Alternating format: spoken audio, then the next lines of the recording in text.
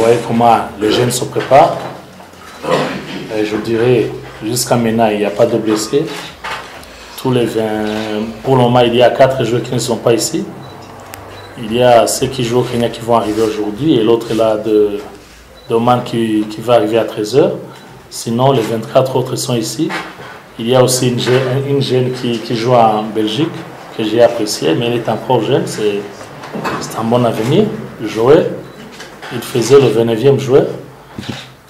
Pour le moment, les préparatifs euh, sont bien. On vient de- d'être. euh, On était. Aujourd'hui, il n'y a pas de séance d'entraînement. Il y avait une visite médicale pour tous les joueurs, comme vous savez, à la Cannes. Et c'est pas comme les autres championnats. Tu dois envoyer une liste des joueurs où tout le monde a une bonne santé, je dirais.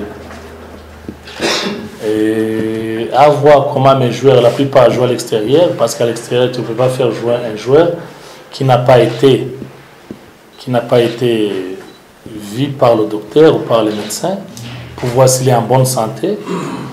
Et je pense que ça ira mieux pour tout le monde, j'espère bien. Sinon, dans les entraînements, vous voyez vous-même, on a vu de nouveaux joueurs, ils sont pas mal. Ça va nous poser beaucoup de problèmes pour une, sélection de 23 joueurs, mais c'est notre travail. Avec les matchs qu'on a, les matchs amicaux qu'on n'avait pas, qu'on n'avait pas eu bien avant, comme on jouera avec, euh, il y a le premier match. Et puisque comme vous savez, on va partir au Qatar le 2. Le 2, c'est-à-dire dimanche.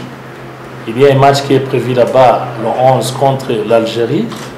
On est en train de voir si on peut faire des matchs avec un club de, Qatar qui, qui a un bon, une bonne- un bon niveau. Et sinon, après le match d'Algérie, on ira à Tunis pour livrer un match, euh, un match contre euh, la Tunisie, l'équipe tunisienne de football. Et c'est après qu'on va partir euh, vers Caïro pour la Cannes. Et en général, c'est ça. Les préparatifs se déroulent à merveille. Et il nous reste euh, justement entrer profondément euh, dans notre travail pour voir qu'est-ce qu'il faut faire en Égypte pour voir s'il le faut apporter au Burundi un bon résultat. Merci.